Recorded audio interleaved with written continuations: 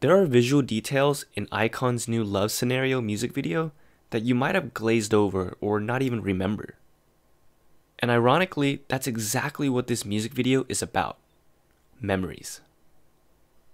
The song is about accepting a breakup. The lyrics describe them remembering and reliving the relationship, yet the song is still upbeat. That's because it's about accepting and learning from that breakup, not dwelling over it.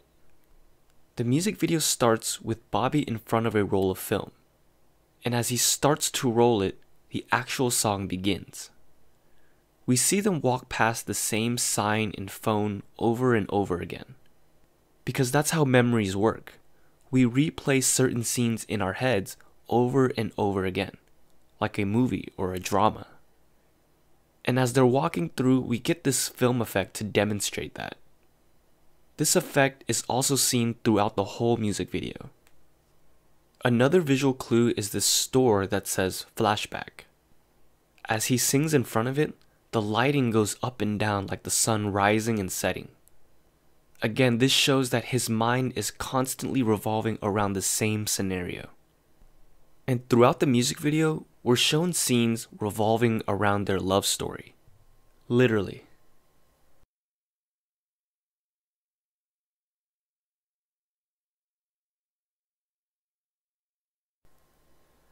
Even the choreography features them revolving around each other.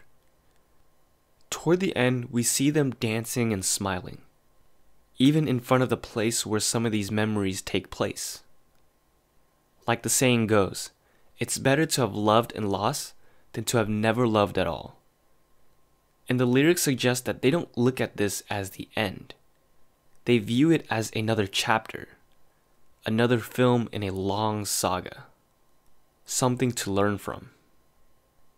And now that you understand the broader message, you can see why iKON picked this as their title song. It represents what they're trying to do in real life.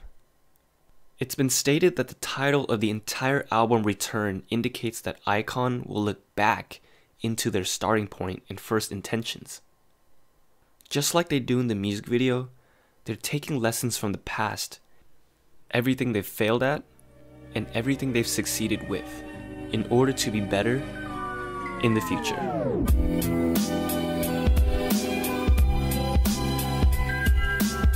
Hey guys, let me know what you think about that, and also let me know your own theories and observations in the comments. I'll pin the coolest one to the top. Subscribe for more if you like these. Hopefully it helps you appreciate the music videos more, or at least in a different way. Make sure you follow me on Twitter. Thanks for watching guys.